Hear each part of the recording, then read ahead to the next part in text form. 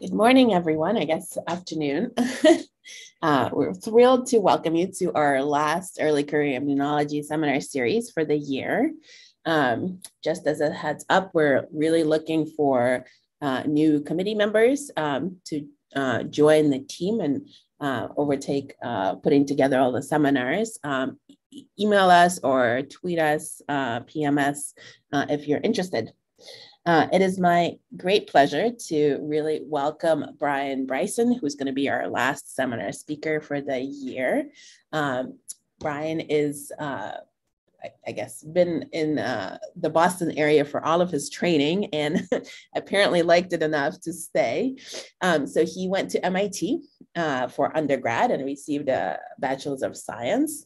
Um, he then uh, stayed there for um, his PhD training with Forrest White, uh, and his thesis was titled Quantitative Approaches to Probe uh, the Acetyl Proteome.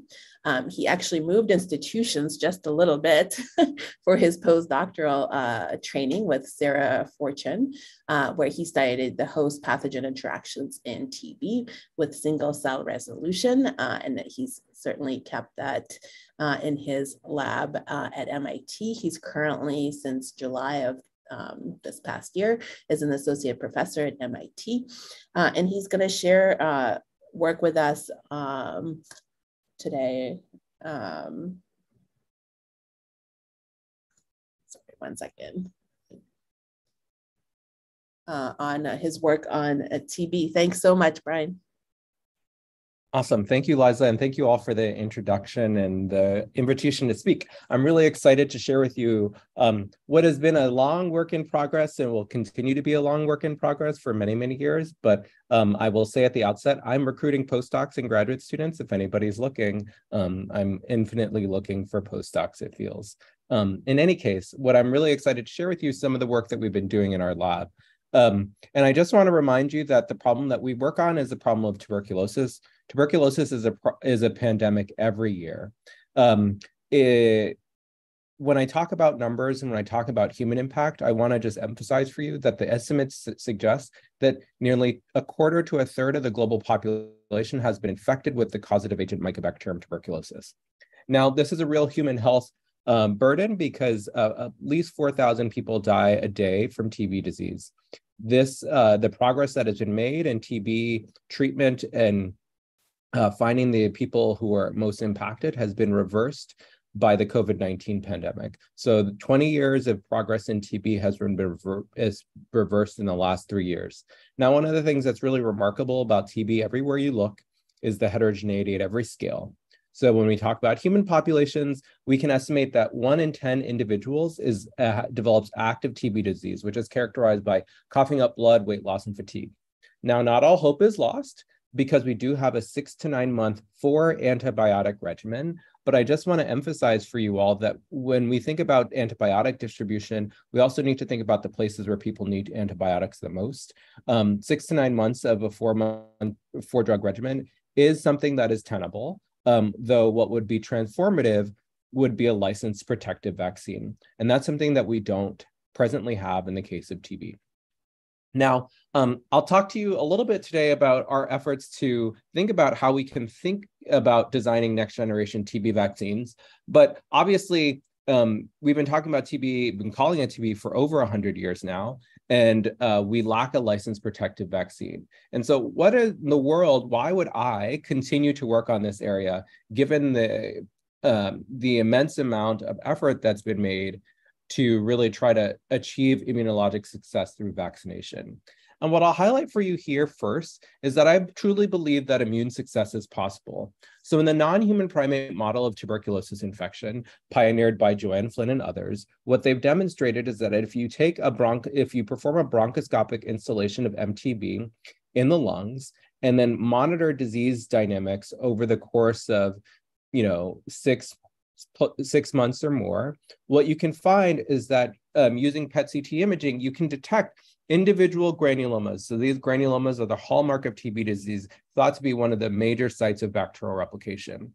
And at the time of necropsy, you can take these granulomas and ask how many of these granulomas contain active uh, culturable bacteria versus those that appear to be completely sterile. And what I want to highlight for you here is that immune success is possible. So independent of whether that animal is designated as having active disease or latent disease, um, you can find fully sterile lesions. Now, this is important because this is, says in the absence of antibiotic therapy, the immune system alone can control bacterial infection. So this is what gives me hope, and this is what really keeps us going in our research group. And I'll tell you a little story today about how we think about um, how we can address some of these ongoing immunological uh, unknowns in terms of making a vaccine that can elicit some of the same immunologic parameters that we think is, are active here. So I think it goes without saying that uh, we think a lot about cell-mediated immunity in the context of TB infections. So a TB-infected phagocyte can present antigens on both MHC class one and two. Um, a lot of this work has been done in both murine and non-human primate studies. So I just want to give you a small snippet of why we think both CD4s and CD8 T cells can contribute to protection. So in uh, the murine model, if you knock out beta 2M and you perform a high dose aerosol challenge in the mouse, what you see is mice lacking beta 2M quickly succumb to infection. Alternatively, as a different experiment, if you deplete CD8 T cells with an uh, anti-CD8 depletion, you find that uh, you find elevated levels of bacterial burden in the lung, liver, and spleen. In the non-human primate model of infection, if you take a previously vaccinated uh, animal and you deplete CD8 T cells in the bronchoalveolar lavage, what you can find is that upon CD8 depletion, these animals look like naive animals in terms of bacterial burden in the lavage, again, suggesting that CD8 T cells play a role in reducing bacterial burden. Now, it's not all about just about CD8 T cells. I always think about it as an immune system. Uh, I'd be remiss if I didn't acknowledge the contribution of CD4 T cells as well. So again, we can see similar results in um, in the mouse, where we deplete CD4 T cells and we see an increase in bacterial burden in the lung and spleen. Similarly, if you deplete T cells, CD4 T cells in the non-human primate, you find an increase in bacterial burden upon CD4 uh, depletion. Okay, so what these experiments suggest is that T cells play a causal role in kind of controlling bacterial burden.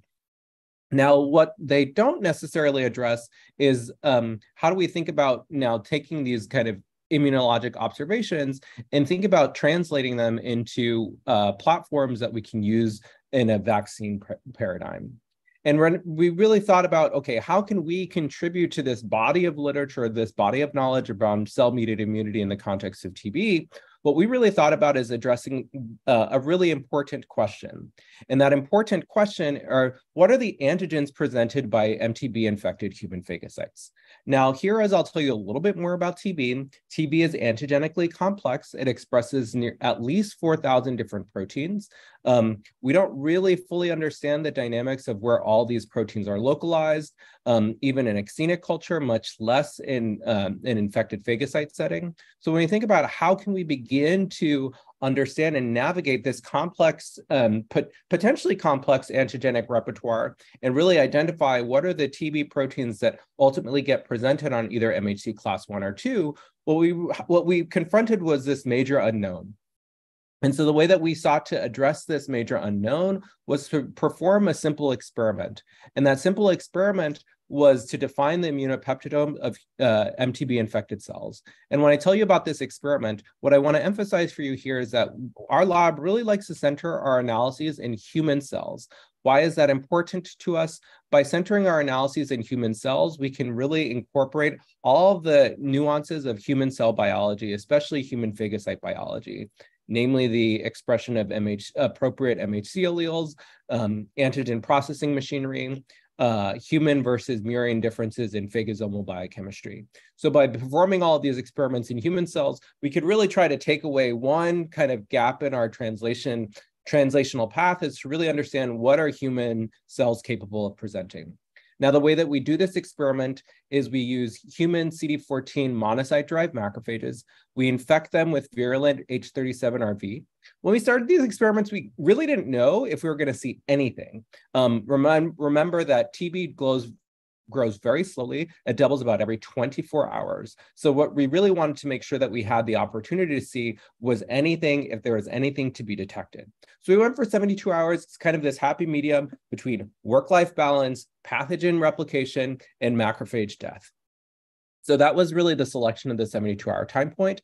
And then our hypothesis was is that we would be able to detect MTB derived peptides presented on MHC class one. And so in order to test that hypothesis, we performed a class one uh, immunoprecipitation using the W632 antibody. Then we don't really care specifically about the class one protein itself. We really care about the peptides that, that are bound. And so in order to isolate the peptides from the bound protein, we can either perform a molecular weight cutoff filter to uh, separate the peptides from the proteins, and then perform liquid chromatography tandem mass spectrometry, which is just going to tell us what is the full peptidome of being what's being presented. Or as an alternative biochemical strategy, what we can use is what's called solid phase extraction, which allows us to perform fractionation by reverse phase liquid chromatography Obviously, one of the benefits of fractionation is it allows us to dig deeper. That was our hypothesis going in. And then similarly, we're going to use the mass spectrometer to detect and identify the sequence of the peptides that we find that are bound. Okay, so this is the basic experimental platform that I'm just going to just that I'm going to be using throughout this talk. Okay, so the first question is, is what do we see? And so just at a high level, um, on the y-axis here, I'm plotting the number of unique peptide IDs. You can see in this first protocol, which was just our molecular weight cutoff filter, we're seeing about 5,000 or so peptides, not a huge difference between cells that underwent an infection with TB or a mock infection where we just changed the media. What you can also see here is that when we move to our second new protocol, this uh, fractionation protocol, on average, we were able to boost the total number of peptides that we identified. Um, one thing that I'll highlight for you here is that we did try a few experimental perturbations, adding interferon gamma to see if that would change the overall repertoire of what we identified, adding cyclohexamide to disrupt host protein translation to try to boost the number of TBIDs. Um, but what you can see at a wholesale level is just the total peptide IDs didn't really change much with those perturbations that we introduced. Now, this is all peptides. The question is, is how many of these are derived from MTB and what are they, if any? Okay, and so I just want to remind you that on this, this y-axis, we're looking at the a scale of thousands. So now let's talk about TB-derived peptides. When we talk about TB-derived peptides, our y-axis is going to eight. Um, our record is seven uh, different MTB-derived peptides. Our low is one. So what I want to highlight for you here is that the TB derived, um, the TB contribution to the class one immunopeptidome is very small. Our estimates is that it's less than 0.1% of the total immunopeptidome that we can detect. Okay, so the dirty laundry of immunopeptidomics is that Unlike, say, for example, other proteomic techniques that you may have utilized where you use a tryptic digest, which forces there to be either a lysine or an arginine at the C terminus, immunopeptidomics is a little bit different because you're just asking what peptide is bound to the class one molecule. Now, there are some parameters that you can put constraints around, for example, length, size, etc cetera, et cetera. But there's not necessarily amino acid rules that constrain the search that these mass spec search algorithms perform. And what I really want to emphasize for you here is that if you just trust the mass spectrometry search algorithms, you get an overall uh, high number of false positives. Um, so we really needed an alternative strategy to really be able to quantitatively verify that the peptides that we say are derived from MTB and being presented are truly there. So the way that we do this is we use stable isotope labeled standards. And so let's hypothesize that this biological peptide is what the mass spectrometer is telling us that we saw. What we can do is we can make a synthetic stable isotope labeled peptide, which is the exact same amino acid sequence, but at one of these amino acids, we incorporate heavy labeled, a heavy labeled amino acid. And what's important about that is that now we have this kind of synthetic stable isotope labeled standard that we can then spike in to our class one peptide mixture. And what's valuable about this is because of this um, incorporation of this heavy labeled amino acid, what we can see when we do a, uh, an MS1 scan is we'll see a mass offset between the endogenous biological peptide and the synthetic stable isotope labeled peptide. This is so but everything else should effectively be the same, namely the hydrophobicity and the fragmentation spectra. So we can then ask is do our fragmentation spectra map match when we fragment the biological peptide versus the synthetic peptide? And then similarly, because the hydrophobicity of these peptides should be effectively identical, we should look for coelution of these peptides. So they should be coeluting into the mass spectrometer at the same time. And so let me just show you what that data look, what those data look like in practice. Um, if we actually take this um, peptide derived from ESXA, we can spike in our heavy labeled synthetic isotope labeled standard peptide, and we can look at the samples that underwent an MTB infection or a mock infection. And what I want to draw your attention to here is that um, in both the mock infection and the TB infection, we find the heavy labeled isotope labeled standard peptide that we spiked in. But now only in the setting of the MTB sample do we see the light biological endogenous peptide. Again, say, suggesting to us that, okay, yes, this peptide really can only be detected in the setting of MTB infection. Now that's step one, we see coelution. The second thing that we want to make sure is that the fragmentation spectra of these peptides match. And so what I'm showing you here on the top of this uh, MSMS uh, spectra is the biological peptide. On the bottom is the synthetic peptide. And what I want to draw your attention to is the fragmentation spectra are effectively identical, save for a small offset due to the introduction of the heavy labeled amino acid. So for all the for every peptide that we've identified, we've done the exact same exercise where we synthesize a heavy labeled amino acid, um, heavy labeled amino acid containing peptide. We spike that in and we validate every peptide. Now, what does that mean in practice? Um, one might ask, does this actually impact uh, the number of IDs that you generate? And yes, it does. Actually, in fact, over 50% of the peptides that we um, were predicted by the mass spec algorithm were discarded because they did not pass this biochemistry filter. So this is just a cautionary tale as people begin to continue to use these techniques that you really need to have orthogonal ways to confirm the observation that you're making.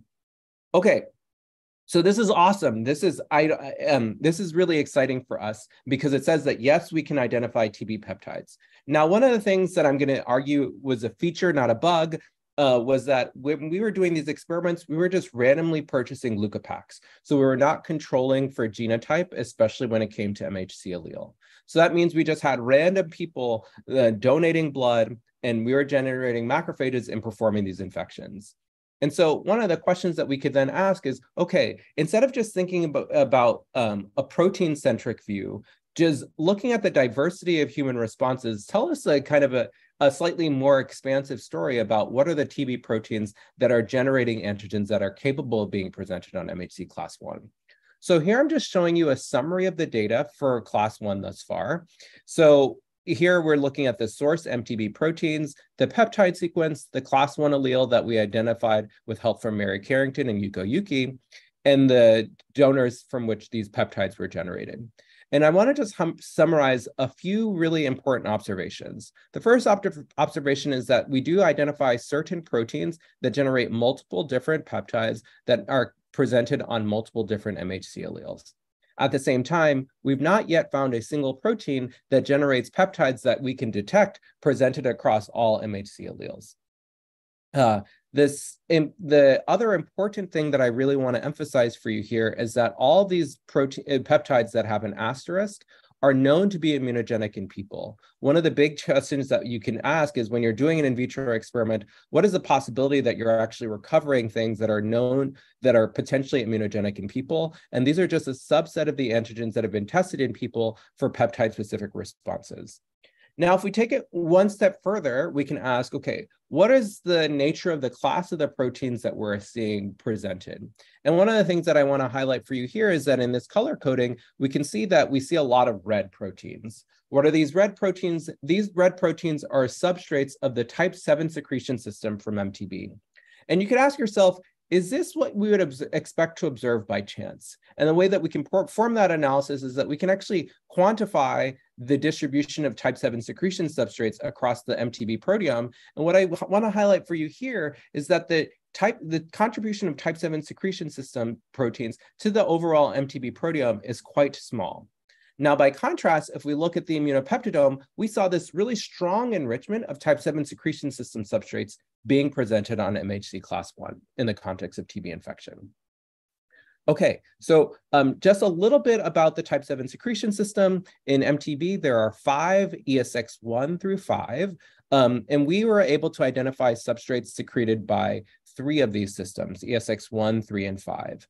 And really, when we think about the interaction between TB and the host immune system, there are two proteins that have been deeply, deeply characterized for their ability to really influence host uh, and phagocyte physiology specifically. And those two proteins are ESXA and B.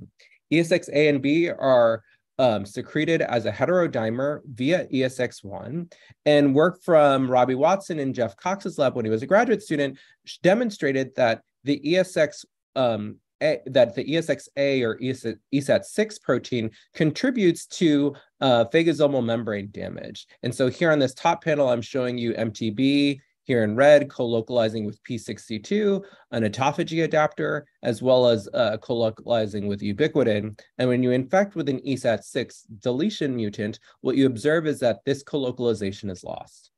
Okay, so now we can do this, go from this kind of discovery mass spec through immunopeptidomics and begin to think, okay, now how do we take it one step further and go from discovery to hypothesis? And so the next questions we really want to ask is, can we be mechanistically begin to dissect the, uh, the bacterial and host features that contribute to presentation of these MTB antigens on MHC class one. And so what we have thus far with our experiments is this observation that we infect and we see these peptides presented on MHC class one in the context of infection. But really at a cellular level, we can hypothesize a few different mechanisms by which this may be occurring. One model is whereby TB is inside of a phagosome. You have fusion with either late endosomes or lysosomes containing cathepsins. You get this phagolysosome. You get generation of peptides through proteolytic activity in this phagolysosome. And then you have MHC class 1 being directly loaded at the MTB containing phagolysosome and then presentation on the surface. So to test if that hypothesis or mechanism were true in our system, what we did is just an initial experiment where we looked for class one colocalization with MTB at a variety of time points, as early as four hours and as late as five days. And what I really want to highlight for you is that at none of the time points that we analyzed did we see really robust colocalization between MTB and MHC class one. Okay, so what are alternative mechanisms by which we can hypothesize? Um, and this is really why I emphasize for you that uh, this ESXA-B heterodimer can contribute to phagosomal membrane damage, is you could alternatively hypothesize that the phagosome to cytosol model is a potentially a model by which MTB antigens are gaining access to antigen processing machinery. And so the hypothesis here is that the phagosomal membrane is being damaged, uh, MTB derived proteins are gaining access to the cytosol, where they can be processed by the proteasome, delivered into the ER via TAP, and then su- subsequently uh, presented um, on MHC class one. Okay, so in order to test that hypothesis, we wanted to confirm because obviously, actually, a lot of the experiments about membrane damage in the context of TB infection have been done in murine phagocytes. And we wanted to really understand if these principles were also consistent in primary human monocyte derived macrophages. So we infected with MTB. And again, at the same time points that I highlighted for you here, MTB in green are different markers of uh, now membrane damage, either galectin-3 or P62 as used in the Cox paper. What I hope you can see is that at all these different time points, we see co-localization between these membrane damage markers in MTB. What I'll also highlight for you here is that, again, this is not homogeneous. It's a very heterogeneous colocalization, which could raise some interesting questions about uh, how um, T cell recognition of these MTB infected phagocytes may occur. Okay, so this is again descriptive suggesting that yes, TB uh, drives phagosomal damage in these human monocyte derived macrophages, how can we think about testing mechanistic hypotheses? And for, for, as a first pass, what we did is we said, let's go ahead and take advantage of bacterial genetics as a way to probe some of the dynamics of these systems. And so what we did here is we leveraged a mutant in ESX1 activity. That's this ECCCA1 transposon. Again, it's in green. And compared to wild type MTB, when we look at galectin-3 colocalization now, what we can observe is that when we infect with this um, ESX1 activity mutant, we lose the colocalization with galectin-3. providing a really nice mechanistic probe to begin to understand how ESX1 activity and the subsequent downstream responses to ESX1 activity on the host side contribute to presentation on MHC class 1. So that's what we wanted to do is we wanted to then next mechanis mechanistically dissect the host and bacterial determinants of antigen presentation on MHC class 1. Okay, so this is at this point we said okay we can't continue to do these experiments as we have done previously where we're just randomly using leukopacs because we really wanted to now specifically test particular hypotheses about the presentation of specific peptides and so this is where we then transition to a genetically controlled system where we bought HLA type leukopacs um, with particular MHC alleles so that we could track specific MTB derived peptides and their presentation during infection. And so for this experiment, we purchased uh, leukopacs that were both HLA A0201 and HLA B5701 double positive. And we pursued that because we'd previously seen peptides derived from ESXA presented on A02 and ESXJ presented on B57. And our hypothesis here is that if we were able to track these specific peptides as a function of different uh, experimental perturbations, we could now mechanistically understand how, for example, ESX1 activity contributes to the presentation of both the ESXA peptide as well as the ESXJ peptide. Okay, so our kind of conceptual model going in was that in a wild type system, ESX1 act in a wild type MTB infection specifically, um, ESXA can be secreted. ESXA contributes to this phagosomal membrane damage phenotype. By contrast, ESXJ is secreted by ES, the ESX5 system. Specifically, what I'll highlight for you here is that in a xenic culture, if you were to knock out ESX1 activity, ESX5 uh, secretes no problem.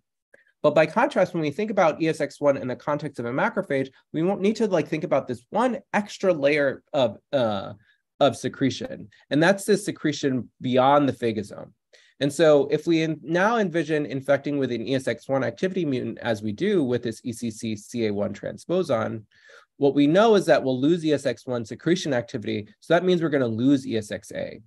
Now, by contrast, if this kind of phenotype mediated by ESXA, namely phagosomal membrane damage, is important for the presentation of ESXJ, ESXJ will still be secreted into the phagosome, but in the absence of phagosomal membrane damage, ESXJ can't get out. And if we hypothesize that this escape from the phagosome is important for antigen presentation, we'd hypothesize that we'd lose both um, in an ESX1 mutant, we'd lose ESXA, but we'd also lose ESXJ. So that was the hypothesis that we wanted to test. And in order to test that hypothesis, we infected with wild type MTB or this ESX1 mutant and examined antigen presentation on MHC class 1. So one of the things that I maybe didn't emphasize for you at the beginning is that when we do all these experiments, we're using about 25 million cells as input for our discovery experiments. But now, because we're now thinking, okay, look, we're doing a targeted analysis where we should hopefully be able to achieve more sensitivity because we're just tracking specific peptides, the question was, could we go lower? And the answer is yes. So we use a method called SureQuant, which enables detection of MTB peptides with incredibly low sample input. So here we can now use 10 million cells. We can now do it as low as 1 million cells as total cell input to our experiments. Now, the a challenge that now doing all these experimental perturbations introduces is now we're doing separate IPs because we're infecting with wild type MTB, we're infecting with mutants, and we need a way to control for our IP efficiency. And the way that we do that is we use what are called HIP MHCs. These contain UV cleavable peptides. We can do a UV exchange. We can load these peptide MHC, we can load these MHC molecules. We can perform an ELISA to quantify the concentration of these HIP MHCs. And then we can actually spike in known quantities of these HIP MHCs into all of our IPs. Where, and now this provides us with a way to control for IP efficiency across multiple different IPs. And then similarly, we can then do our peptide isolation and do a sure quant analysis to quantify and track specific peptides. And so for the experiment I'm going to describe to you, I'll describe to you two controls that we first tested. Uh, we first looked at class one expression on the surface as a function of wild type MTB infection or ESX1 activity mutant. And what we found is that there is no difference in class one expression on the surface of these macrophages at the time point that we analyzed, as well as no difference in bacterial burden at the time points analyzed. And this is just going to be important when we see the experimental results I'll show you in a second. Okay, so we've got all of our tools. We've gone from discovery to hypothesis testing. So what's the hypothesis that we wanted to test? The hypothesis we wanted to test is that upon loss of ESX1 activity, we would lose the presentation of the ESX-A peptide for sure. And if phagosomal membrane damage or ESX1 activity is really a conduit by which uh, other non-ESX1 substrates gain access to antigen processing machinery, our hypothesis was that we should also lose the presentation of those peptides. Again, we use SureQuant in order to be able to do this initially. And what I'm showing you here is just what, we, what we've seen previously before. Here is a mock infection. We don't detect the MTB-derived peptides at all. Here we infect with wild type H37RV. And what I just want to note for you here is that methionines are easily oxidized. So we track both an oxidized form of this ESXJ peptide as well as a non-oxidized form and here's so that's what we see three different peptides. So here's what we look see when we see wild type MTB infection. And now we're going to infect with our ESX1 activity mutant. And really, to our surprise, this is the cleanest biological results I've ever had in my life. Um, a, we lost the presentation of all three of these peptides consistent with our hypothesis.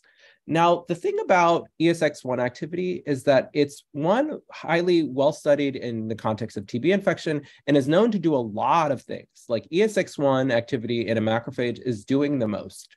Um, one of the things that ESX1 activity is known to drive is a type 1 interferon response following infection. And so when we think about losing ESX1 activity, we're actually losing a lot in addition to losing the membrane damage phenotype. So we wanted to think about ways in which we could start to complement in components of the host's ESX1 response and understand whether the observations that we're making could be attributed to various components of the ESX1 response. The easiest one for us to test initially was the loss of interferon induction. So we said, let's go ahead and take the ESX1 activity mutant and then uh, treat with inter type 1 interferons. And what we can see here is that uh, add back of exogenous type 1 interferons had absolutely no impact on the presentation of these peptides. Okay, so our model thus far is that um, the presentation of these antigens are rely on ESX1 activity and in type 1 interferon independent manner. Um, but then, you know, one question you might ask is, okay, are there is there an alternative way to show the to demonstrate what you observe. And as I mentioned to you before, many of these peptides that we identified in our TB experiments are in vitro are known to be immunogenic in people. And this is when I tell you serendipity sometimes happens. And fortunately, a group at OHSU, the Lewenson lab, had actually already identified a T cell clone that uh, um, that recognizes specifically the ESXJ peptide that we'd identified by immunopeptidomics. And they were so generous to share the T cell clone with us. And what that really provided was an, uh, an alternate, an additional way to begin to probe aspects of um, CD8 T cell recognition of TB infected phagocytes. One of the things that I want to highlight for you here is that the field has kind of not necessarily appreciated um, the potential contribution of CD8 T cells, one, because of a major observation that's been made in the C57 Black 6 mouse. And that observation here is that if you take the immunodominant uh, T cell response that you observe in a C57 Black 6 mouse, you take those T cells and you cold culture them with TB infected macrophages. One observation is that the TB infected macrophages do not well act, do not activate those CD8 T cell clones very well. And so this has led the field to not necessarily appreciate a potential contribution for CD8 T cells in the context of infection, in part because of the major immunodominant response that you observe in the C57 Black 6 mouse tells you that those T cells can't necessarily uh, recognize and become activated by the TB infected phagocyte. But I, what I draw your attention to here is that they can be activated to produce interferon gamma when you peptide load the cells. So we wanted to just basically repeat this direct experiment uh, now armed with our T cell clones that we obtained from the Lewenson lab. And so now I'm just going to show you a little bit of flow cytometry data. This is a T cell co-culture where we either co-cultured the uh, T cell clones with either mock infected cells or TB infected cells, plus or minus peptide, plus or minus the ESX1 active uh, ESX1 activity. What we're looking at first is just a mock infection. And this is just to confirm the activity of our T cell clone. So, and then we looked at a number of different T cell markers. Here, what I'm looking at is CD107A as a marker of degranulation and GM-CSF cytokine production. Here you can see that in the absence of peptide, the T cells are not really well activated. When we peptide load with the cognate peptide, we see strong degranulation and GM-CSF production. And here, if you don't culture with macrophages at all, you don't really see any signal in the T cells at all. Now, what happens when we add MTB? So now I'm showing you the addition of H37RV. And again, this is a co-culture experiment. These co-culture time points are um, as early as six hours after co-culture. What I want to draw your attention to here is that now, in the absence of peptide, we are seeing the T cells becoming activated because the T cells are, or the macrophages are infected with wild type H37RV and presenting the cognate peptide. Now, importantly, if we peptide load on top of that, we can increase and boost the response. And then really the killer experiment for us was that, okay, if this is all true, hopefully we'll be able to recapitulate the one additional aspect of our previous experiments that we've done with mass spectrometry, and that's to show ESX1 activity dependence. And when we infected with an ESX1 activity mutant, we saw that the response in the T cells went back to the levels of the no peptide um, loaded cells. So this is really awesome because one, it suggests that yes, we can use immunopeptidomics to mechanistically determine, and then we have an orthogonal validation setup to really confirm the predictions that our system has made. So we're really confident that, okay, the observations that we're making about antigen presentation and the contribution of ESX1 is really important. Okay, so that's that was really clean, I hope. Um, now, what I'm going to tell you about is the murky parts. Um, okay, so what are the murky parts of this story? When we start to, to, look at host determinants, one of the things that we utilize, again, we're working in primary human monocyte-derived macrophages. We wanted a um, we wanted a way to begin to probe host components. Um, and so we first turned to small molecule perturbations. Um, we inhibited the cathepsins using E64D. We inhibited vacuolar acidification using baflomycin, and we inhibited the proteasome using MG132. And really what I'll highlight for you here is that when we did these various perturbations, what we found is that inhibition of vacuolar acidification slightly increased the presentation of the TB-derived peptides. But when we use either E64D or MG132, what we found is that acute inhibition of either cathepsins or proteasome activity did not lower the presentation of MTB-derived peptides. Now, what I'll also highlight for you here is the additional control experiments that we did is that when we observed that we weren't seeing an uh, impact on TB-derived peptides with these drug perturbations, we said, okay, um, how else can we confirm? We did all the Western blots and activity assays to confirm that the activity of the cathepsins were being disrupted, that uh, we were seeing accumulation of K48 linked ubiquitin, et cetera, et cetera. Um, and we saw all those things happening. So then we said, let's go ahead and track, in addition to tracking TB derived peptides, let's go ahead and track um, self derived peptides. And what we observed there was quite interesting. What we observed there is that when we inhibited um, proteasome activity or cathepsins, what we found is that that did have an impact on the presentation of self peptides, where it did not have an impact was on the presentation of TB-derived peptides. And I'm happy to speculate in the Q&A session about what are the potential mechanisms that we're exploring that might be consistent with the model or the data that I'm uh, presenting thus far. Okay, so um, the so that was um, all the work of one graduate student, and then um, uh, nevertheless, they persisted and they said, okay, we also need to be able to address questions about MHC class two. Um, so I'm just going to summarize in one slide six months of work towards uh, making immunopeptidomics work for MHC class two. Um, and I'll just describe to you what we had to do in order to be able to get there. Um, one was optimize the antibodies that we're using. There are many class two antibodies there on the market we um, which peptides give us uh, better um, better immunoprecipitations. We optimized some of the biochemistry, namely how we perform our peptide isolation, how we uh, do our fractionation of our peptides, as well as how we just operate the mass spectrometer in terms of injection time of the, of the ions. Um, I won't show you any of those data yet because this is a work in progress and I don't want to um, misleadingly or get people excited about particular antigens that we haven't yet validated. Um, we look forward to sharing those data soon. Um, but I want to take a step back and come back to this question that I set up this talk with is that how can we use these principles to understand vaccine design? I'm going to share with you some kind of closing thoughts about, I think, what I think are hurdles um, for existing vaccines and what I think are even hurdles for the observations that we've made today. Okay, so what does this all mean for TB vaccine design? So I first want to highlight for you BCG. BCG is the vaccine that is still administered in many parts of the world for TB. Its protective efficacy has not had the impact it needs to reverse the TB pandemic.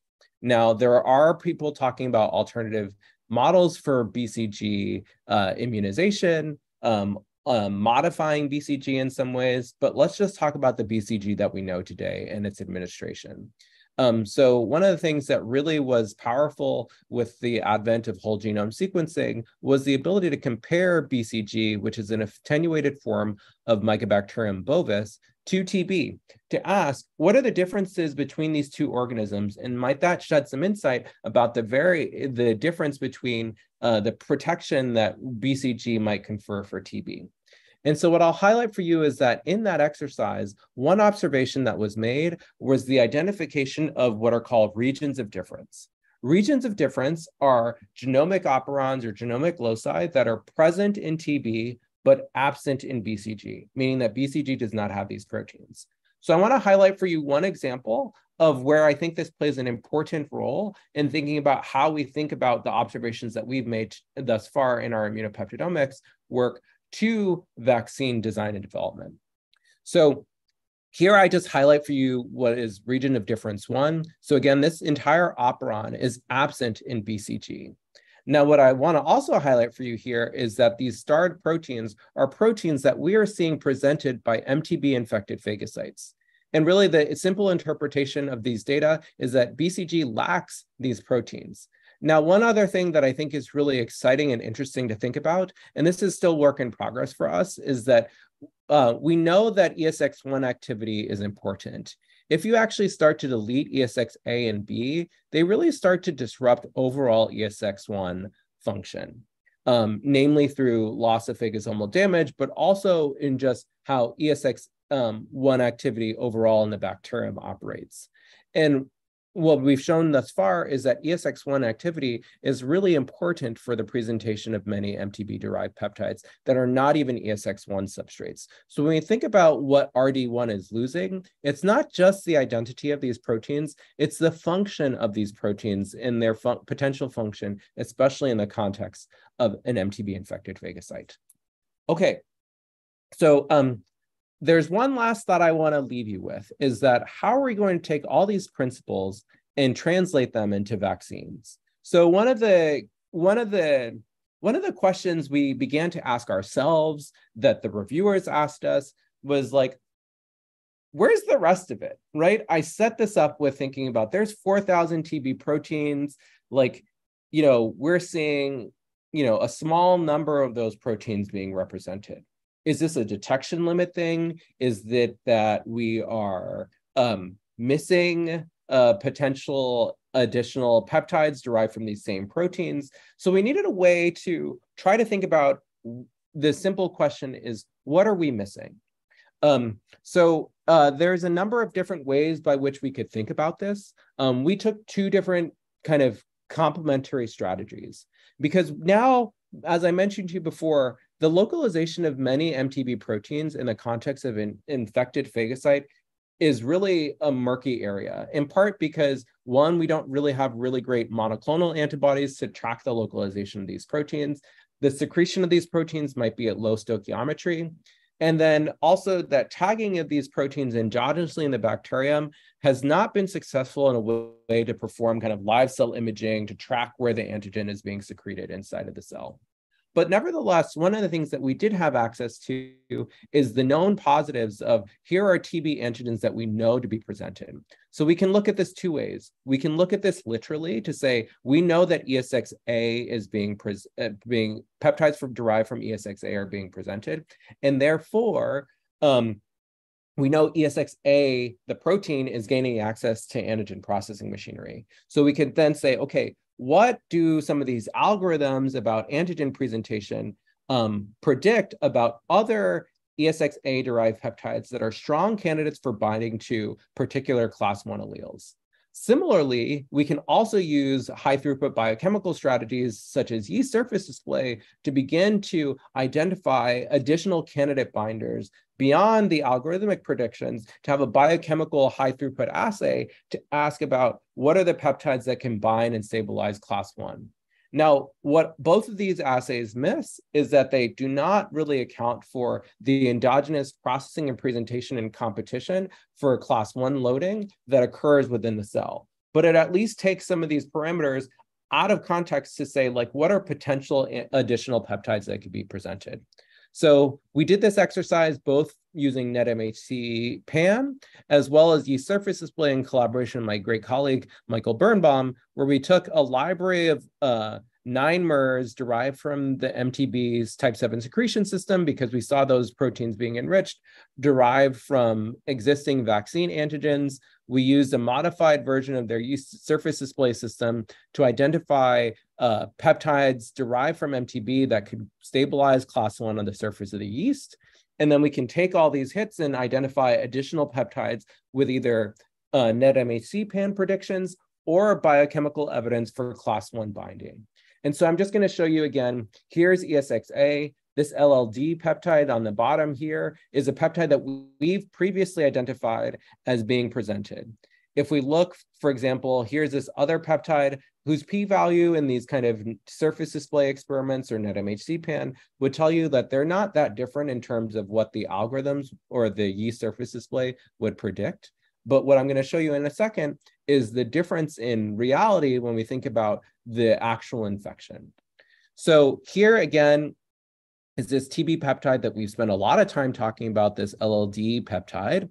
And here we're again using SureQuant to now quantify and detect the presentation of these peptides. And this is really a unique strength of the mass spec-based strategies because traditionally when you're thinking about looking for the presentation of a particular peptide, you need a T cell clone. You need a T cell clone in order to be able to do that. Um, by contrast, what we have accessible to us now is this SureQuant method, which is just going to ask, is this peptide being presented? And we don't need a T cell clone in order to do that readout. And so this is really a key strength of this approach. And so now again, we can compare the biological peptide versus, versus the synthetic peptide. And again, we're looking at plus minus MTB infection. Now here, when we look at plus MTB infection, you see this peptide in the plus MTB setting. You don't detect it in the no MTB setting, but in both settings, you detect the synthetic peptide. Now, what happens if we take a peptide that's predicted to be presented by these algorithms or shown to stabilize class one in, in, in a yeast display system? Here we see this peptide that has similar confidence from these algorithms, but we and we can detect the synthetic peptide, but in no way, shape, or form do we detect this peptide being presented in the context of infection. And this is a really important point that when we take when we we can't necessarily be taking for granted these biochemical or algorithmic possibilities. We really need to be able to be be certain that these um, that these peptides are actually truly being presented in the context of infection. So this is uh, what we see for ESXA. We can do the same exercise for ESXG. Um, here again, you see the synthetic peptide in both settings. Um, and here, when we look in the biological peptide, we see only we um, we only see the coelution of like the relevant peptides. This is kind of a misleading artifact that I haven't cleaned up yet. Um, a, uh, in the setting of the TB derived peptide and TB infection. Similarly here, when we take another high confidence peptide that NetMHC-PAN would tell you is kind of a similar elution rank, we only see the synthetic and we do not see the endogenous peptide. Now, experiments that we can do here to really shore up these observations is yes, we can do these experiments with as low as a million cells, but we've actually even gone up to using 200 million cells in our pull downs to really shore up the observations that we're making here. And really what I want to highlight for you here is that actually this broader uh, question of like what peptides are we potentially missing, we actually synthesized a synthetic library of 186 MTB derived peptides that had high confidence in either a combination of yeast surface display or NetMHC PAN. And we tracked all of them. And really what I'll highlight for you here as a closing thought is that of 186 MTB derived peptides that could stabilize HLA AO2 in yeast surface display, only two of 186 were detected as presented in MTB infected samples. Actually, those are the two that we'd previously detected in our discovery mass spec algorithms or our discovery mass spec experiments. Um, so maybe I'll close up there. Uh, hopefully what I've shown you today is that we've optimized methods to discover, validate, and quantify TB peptides presented on MHC class one and two in human cells. This is really important. TB is a human disease. Um, that TB infected human phagocytes present types of secretion system substrates on class one. Hopefully, I'll have something to share with you soon about class two, and that ESX1 activity um, contributes to presentation of TB antigens on class one, possibly through phagosomal membrane damage. Um, so with that, I will close. Um, one, again, uh, highlighting this open call for postdoc applications, um, but not without thanking the people who did this work. Um, every experiment that I described to you today was done by a really talented fourth year graduate student, Owen Letty. Um, he will be looking for postdoc opportunities soon. Um, so maybe we can do a trade. Um, uh, I don't do this work alone. I have an amazing research group that supports all the work, um, amazing collaborators, Amy Barzak for just general community support, as well as uh, some TB mutants, Mary Carrington for HLA typing, along with Yuko Yuki, the Lewinsons for their contribution and sharing of many T cell clones, and uh, Forrest White for really strong collaborations in the mass spectrometry, um, and you for your attention. And so I'm happy to close up there and take any questions that you might have. Thanks so much. That was just fantastic. Um, there are, are already a, a number of questions in YouTube and keep those questions coming. Um, so the first question is from Cheryl Fernandez. Hi, Dr. Bryson. Could an adjuvant be used to increase uh, TB peptide expression on MHC class one? That's part one. And then part two, do macrophages uh, exposed to heat killed RV present any uh, TB antigens?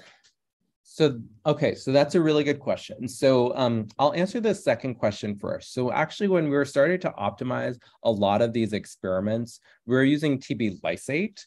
Um, and there we weren't really seeing much in the way of presentation. We've not done heat-killed bacteria yet, um, though that is an experiment that we're really excited about doing.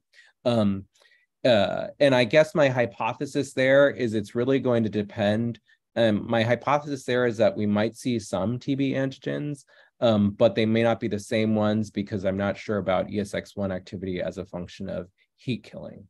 Um, now, your question about adjuvanting, I'm very curious about this. Um, one of the questions that I'm really curious about overall is like, how does the state or the identity of the phagocyte overall impact the presentation of the peptides that we detect?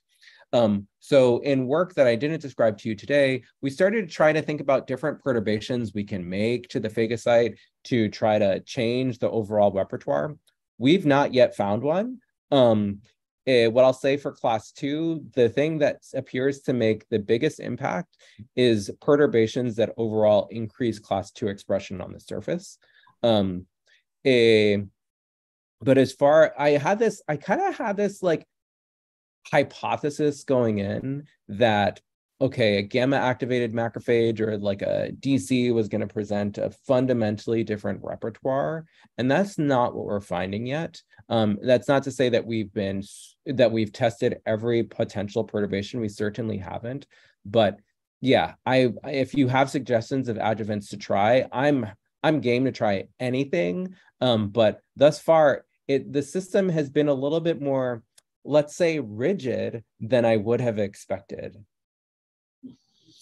Thank you. Uh, next question is from Xu Zhao. Brian, does TB infection uh, inhibit class one presentation? From, uh, from the peptide loading experiment with uh, TB infection, it looks like infection inhibits T cell activation in the presence of peptide loading. Yeah, so that's a good question. So if we look at overall class one levels on the surface, we don't really see a huge difference. We did a series of experiments where we looked for co-stimulatory molecules and their expression on the surface of TB infected phagocytes. And we could do this a few ways. We can look at mock versus infected. And then we can be, if we infect with fluorescent bacteria, we can look at the bystanders versus the directly infected cells. And there's not a huge difference there. Um, a, so what I think is really happening in the context of TB is that um, I think that if we hypoth if back to let me see if I can scroll back to the immunofluorescence imaging of membrane damage. One of the things that I just want to draw your attention to is that ESX1, I sometimes think about these membrane damage phenotypes as a readout for ESX1 activity of the phagocyte in the phagocyte. And one of the things that you can see here is that, look, there's co-localization with galectin-3 here, but not here at all. And so I think one of the mechanisms by which TB is kind of evading uh, or disrupting presentation, at least as class one goes, is just does not have ESX1 be active, right? Because then it's like, cool. So I think there's natural heterogeneity in the system. I'm not yet, I would love ways to be able to sort macrophages that are live that have engaged damage or not and really definitively test that hypothesis. I have some ideas on how maybe we could do that experiment. But yeah, I think that TB, the just the natural kind of evolution of the host pathogen interface during infection, I think is naturally creating heterogeneity in the potential for a presentation. And I think that is that might be enough evasion in and of itself without having to directly disrupt particular responses. Um, the next question is from Rod Rahimi. Great talk. Are there differences in the ability of macrophages versus conventional DC1s in cross-presenting uh, TB epitopes on MHC class 1 or activating CD8 T cells? Okay, I love that question. Thank you so much for it. Okay, so this is actually what I'm very curious about because CDC1s via Danger 1 or CLEC9A can naturally drive a host programmed phagosomal damage program. And so I'm very, very, very curious about what's going to happen when we either feed uh, CDC1's dead TB infected macrophages or TB directly from the ESX1 mutant. And my hypothesis there is that, at least in the presence of danger one engagement, that with a TB dead TB infected phagocyte that we should be able, even if it's infected with an ESX1 mutant, the hypothesis I have going in is that phagosomal damage will still be intact. And as long as, and I think the question there is, okay, if, what is the integrity of the TB containing phagosome in the dead macrophage? Because if like TB is still trapped, right, inside of a phagosome, and then now you have the infect you have the dead phagocyte being taken up into the cdc1 can the cdc like is that only going to damage the phagosomal membrane that like contains the dead phagocyte? And will that be enough to like get the the the antigen out of the original phagosome? And i think that's an open question. Like what happened like i should write that down. Um because I've never really thought about it that way. Like, what is the state of the phagocyte or the phagosomal membrane after it's been engulfed by the CDC1? Um, but th- that that's my that was my zeroth order hypothesis. But now, as I articulated it, I think it raised this question of can a CDC1 via danger one damage the phagosome of the phagos of the dead phagocyte it took up with TB? And I don't know that I have an answer to that question. But thank you for that suggestion of an experiment. That's super interesting. Okay, last question uh, from Philip Earn. Uh, for those peptides that you see with uh, TB infection, are they all predicted to encode good CD4 T cell epitopes? And as part two of that, do you think it will be important to have a priming of CD4 or CD8 T cells against the same target? So, okay, really great question. So, um, for a number of these antigens, there are also reported CD4 epitopes um, in people. So I think that is a that's a glimmer of hope. Um, so that's exciting. I would say that um, the one challenge that we've had, and this is why we need to do the class two experiments as well, is that some of these peptide, some of these proteins just haven't been included in peptide libraries, and so it's an it's a known unknown. Um, as far as your question about priming, um, I I I really think that I'm not. I really don't know if a single dose of a TB vaccine is going to be sufficient. I mean, people have done BCG revaccination and that appears to have a signal. So I think that we are going to need a prime and a boost. Um, how that occurs and what order and what are the antigens and whether they're overlapping and um, I think is an open question.